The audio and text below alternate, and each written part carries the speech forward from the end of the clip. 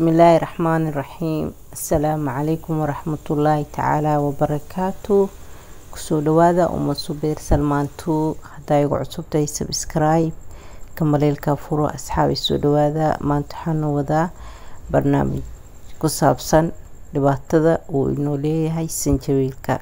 Insha allah kheyr soo dhawaada. Hadda ka hor waxaan soo geliyay faa-iidada inoo leedahay qeyb ka mid ah sanjabiilka sidaan hore sheegay wax walboo la isticmaalayo wuxuu leeyahay faa-iido iyo khasaaro. Marka mar walboo sheygaa isticmaaleysid waxaad ogaaneysaa in khasaaradeedana ay wadato. Wax walboo la isticmaalayana waxaa loo baahan yahay in la isticmaalo ilaa iyo xad. Shay walbo kabadbadis in loo isticmaalo wax fiican ma ahan. Dadkeena qaarkood waxay aada u jecel yihiin waxyaabaha isticmaalayaan inay u isticmaalaan si kabadbadis ah dhibaatadiisana way leedahay markii aad kabadbadis aada sameyso insha allah kheyr soo dhawaada. Afar qodobaan soo qaada doonaa. Afartaas qodobna waxay tahay. Afar qodob aada u muhiimsan oo dhibaato ku ah. Afartaas qodob haddii aad mid ka mid ah aada leedahay waxaa kuu fiican inaad iska joojiso isticmaalka sanjabiilka insha allaha kheyr waayo nafsadaada uma fiicna. Dhibaato kale ayuu kuu siyaadina ama uu kuu sahlaa insha allah tan ugu horeysaa waxay tahay sanjabiilka haddii aad tahay qof qaba wadna xanuun ama qof qaba inuu yacni dhiigiisa fadhiista lagu soo sheegay khaasatan xagga wadnaha ha isticmaalin sanjabiilka waayo ma ku fiicna inaad isticmaasho sanjabiilka sidoo kale marka sanjabiilka oo dhibaato uu leeyahay qofka baniaadinka ah waxay tahay haddii aad tahay qof rabo inuu miisaanka jirkiisoo dhimo oona ku dhimaayo isticmaalka sanjabiilka asigoo rabo in sida ugu dhaqsiyaha badan oo sanjabiilkaas oo ku dadaalo ciyuubanaa oo noqdo qof yacni jirkiisa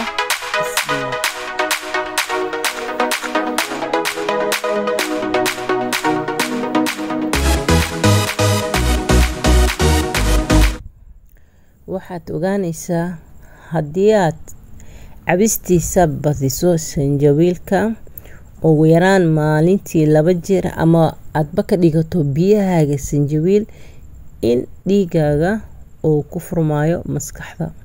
Waa dhibaato kale. Waxaa laga yaabaa inaad barilaata aada naqato. Waxaa laga yaabaa in gaari lagugu riixo. Maxaa kuu keenay? Waa gacantaada. Waa qayaas la'aantaada. Marka intii aan la gaarin wax walba ood isticmaalisid. Waxaa loo baahanyaa taxdir inaad sameyso khayaastiisana aad isticmaasho aadana ka badin aadna ka yareynin insha allah kheyr tan saddexaada waxay tahay haddii aad tahay qof qaba gaaska caloosha ama qof caloosha ka qaba nabro kuuma fiicna isticmaalka sanjabiilka. Ha isticmaalin sanjabiilka.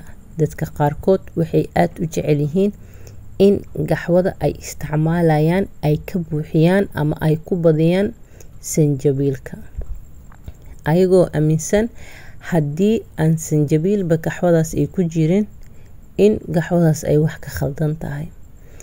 Inay cabayaan bisbaas iyo inay cabayaan gaxwata ama kala taqanid kuleelka gaxwadaas waa yaabaysaa dadka qaarkoodna waxay aaminsan yihiin kuleelkaas gaxwadaas ay ku sameynayaan in jirka u baahan yahay uuna naqanayo dhiiga dhiig nadiif ah sanjabiilka sidaan hore u sheegay wuu fiican yahay qofka baniaadinka waa markii aad isticmaaleyso xadidkiisa ama halaha loogu talagalay. Haddii laakiin aada xudkiisa iyo xuduudiisa aada muddo waxaad ogaaneysaa in dhibaatada aada ku raasatay gacmahaaga ama adiga aada isku keentay. Insha allah kheyr qodobkeena ugu dambeeyay inta aan gudagalin waa walaashiina uma subeer salmaantuug meel walbaa joogtiin. Waxaani leeyahay haddii aad igu cusubtihiin sabscribe-ka ii saara waxwaa iga faa-iidi doontaan haba yaraatee. Mar walba waxaad ogaanaysaa qofka walaalkaaga ah markuu wax soo dhigo ugu yaraan haddii aadan wax ka faa-idin khaasatan umsubeer waxaad ogaanaysaa in hal shay hataa oo muhiim ah aad ka helayso. Ma ku dhahayo cajalada dhan dhammaan wax adiga wax kuu tar leh aan ku wadaa laakiin laga yaabo in hal shay hataa oo muhiim aad ka hesho.